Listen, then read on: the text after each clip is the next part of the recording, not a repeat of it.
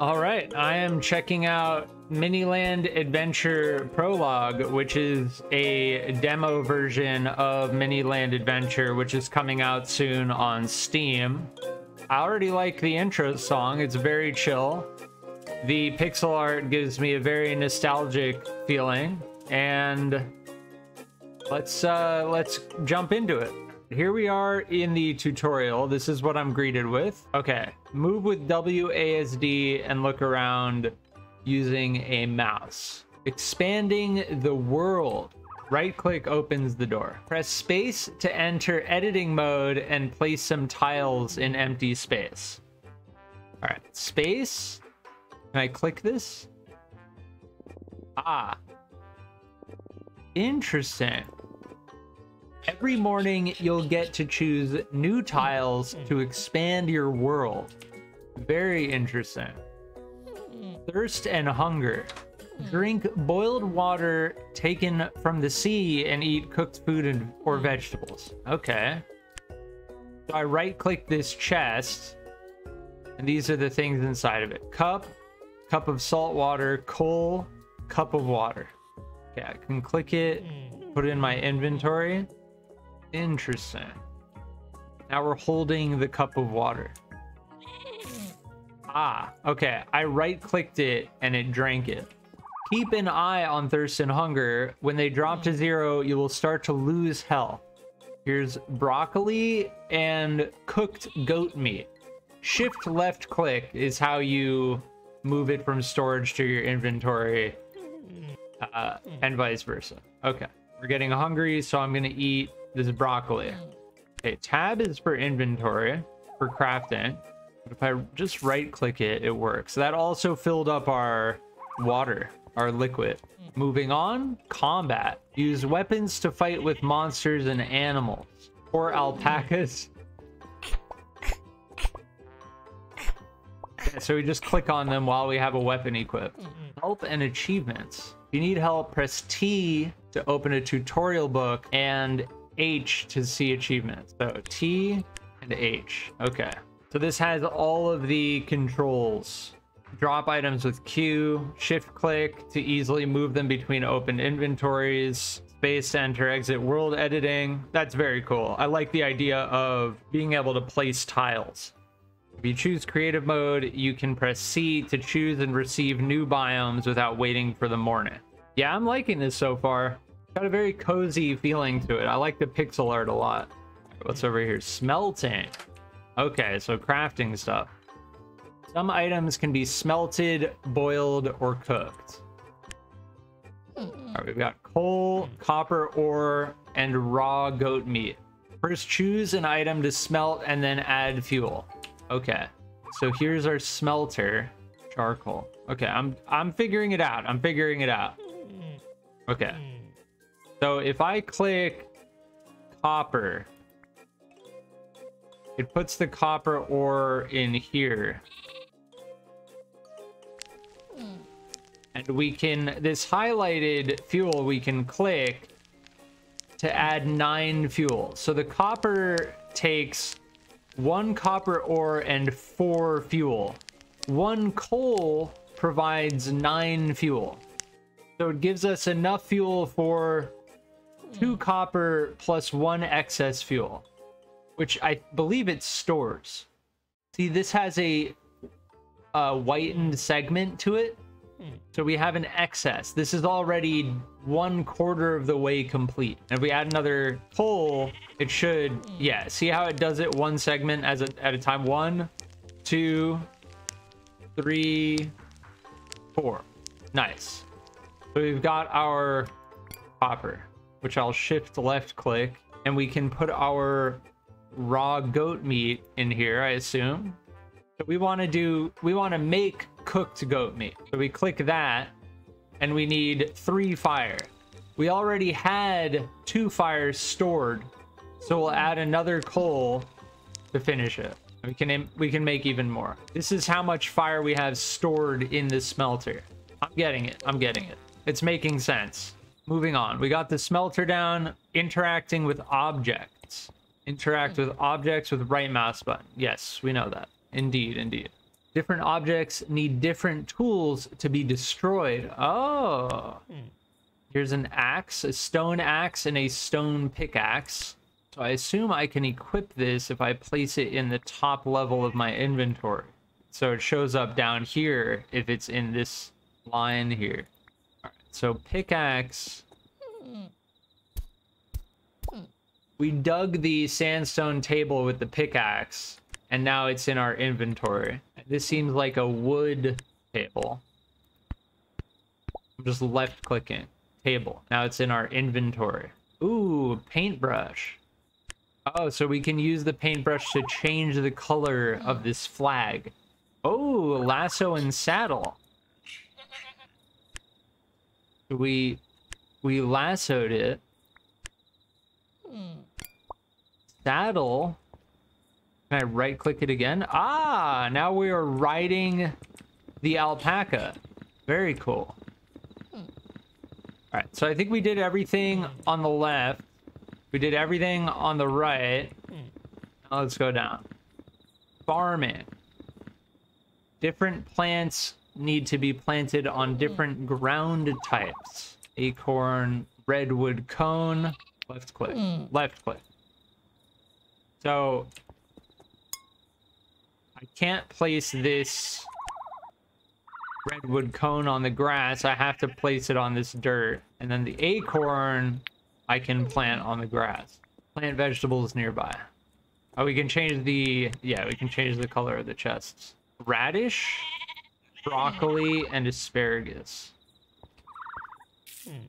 Oh, I just ate it, I think. I right-click. Left-click to plant, right-click to eat. Which reminds me, I do need to eat. We need to plant the radish. Copper watering can and bone meal to be used as fertilizer. Most plants need to be watered and can be fertilized with bone meal. All right, so if I right click them and then use the watering can, they're now watered and fertilized. Drop the animals their favorite food to breed them.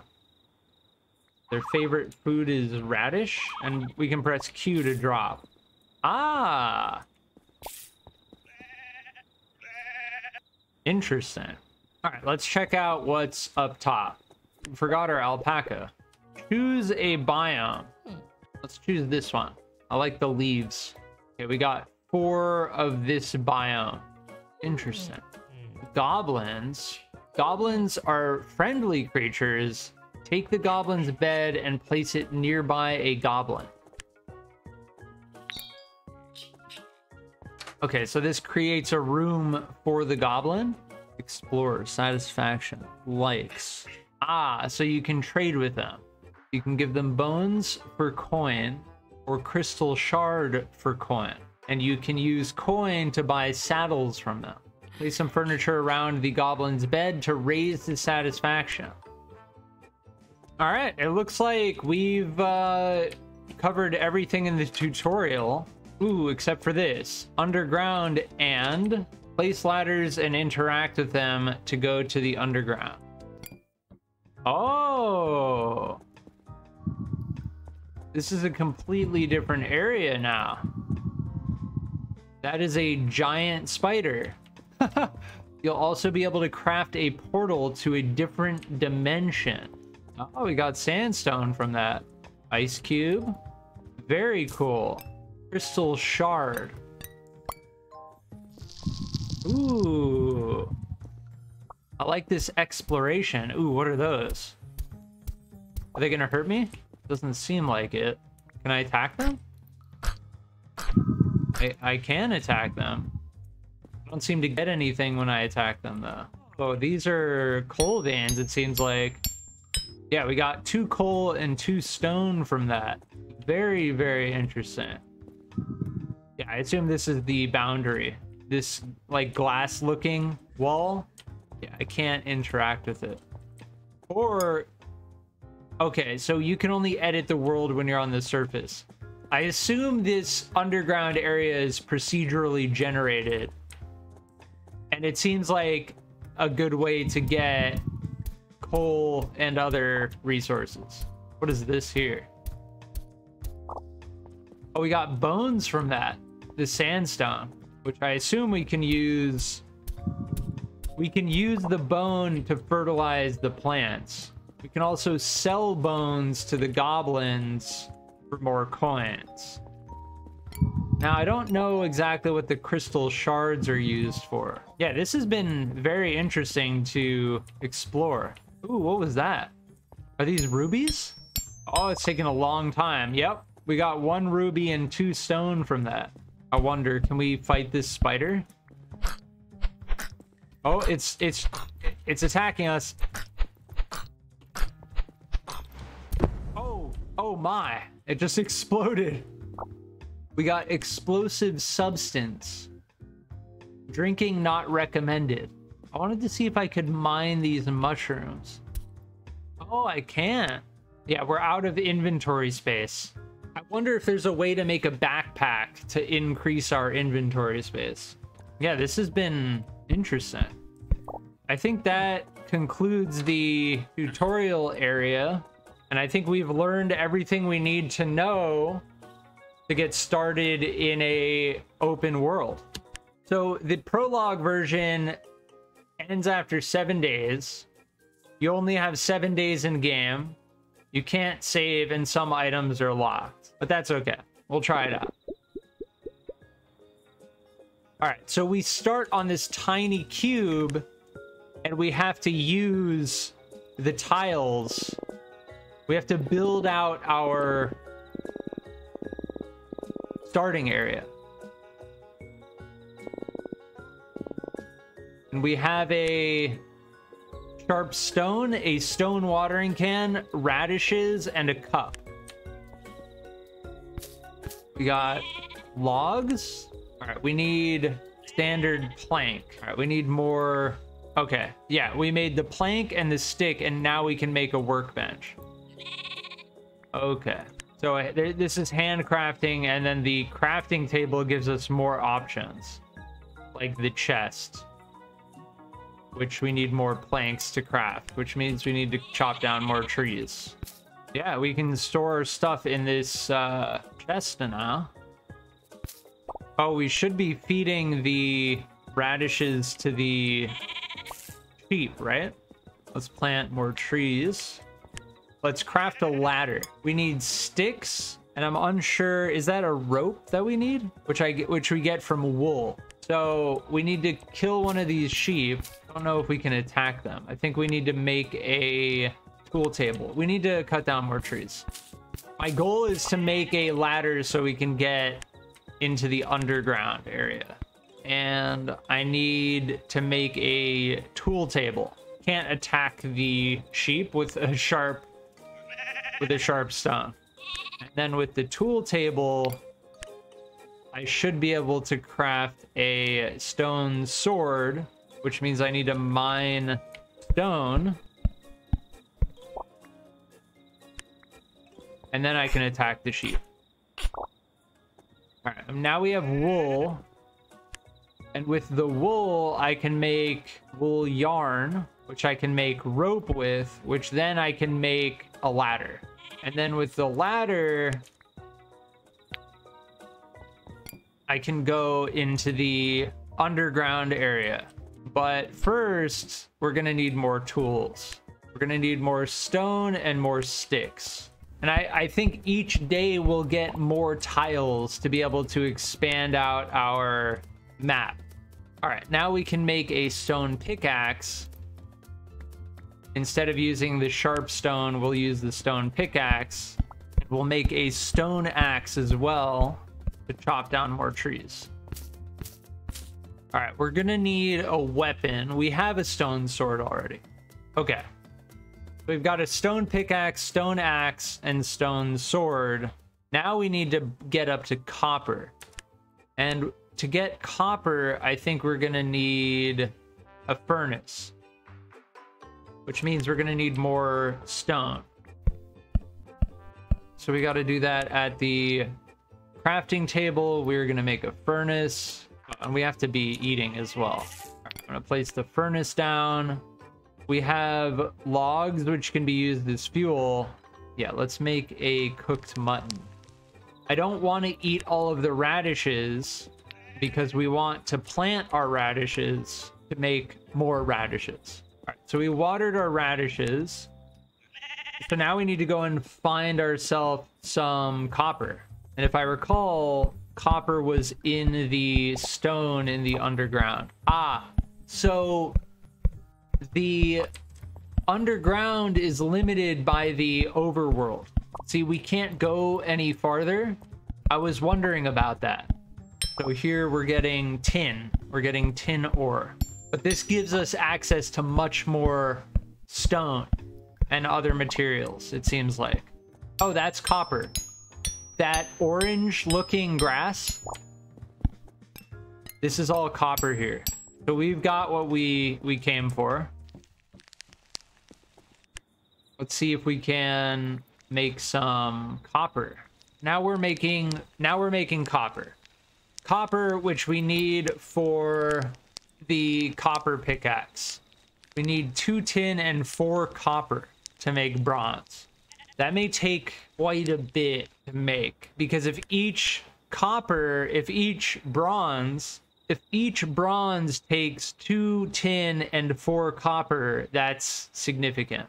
So for right now, I'm just going to focus on making copper. Yeah, I'm liking the, I'm understanding the progression. The progression seems pretty good. I'm just trying to reach our second day. I want to see what happens once we get more cards. I want to make a copper pickaxe. We have plenty of sticks. And I need water. I wonder, can I just collect water from the surrounding area? Ah, you can. Okay. Ah, but it's salt water. Yeah, it's salt water, so it's actually lowering our food while it's filling up our it's it's quenching our thirst, but it's also lowering our food. Okay.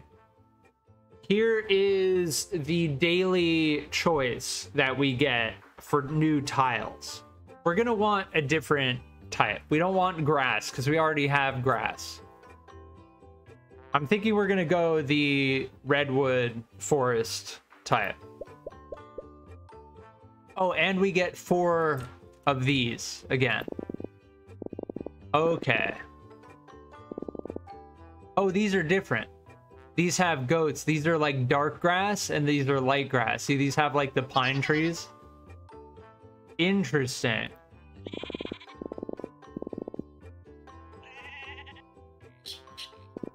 These have raccoons. Cool. Oh, that's that, that's so that's so cool. Yeah, I'm I'm understanding the progression. And I assume if we go underground, it will have increased the area. Yeah. See, it increased this area up here. Very cool. Yeah, I like that a lot. That's a very cool idea. Yeah, we get red logs and redwood cone. Very cool. I've enjoyed this first look at Minilands. It's been quite enjoyable. Uh, we made it to day two. I wanted to see what the addition of new tiles looked like. I like the idea of being able to expand my world as I play. You're constantly building out. It's a very cool idea. I like it a lot. And yeah, thanks for thanks for watching. This has been the Miniland Adventure Prologue.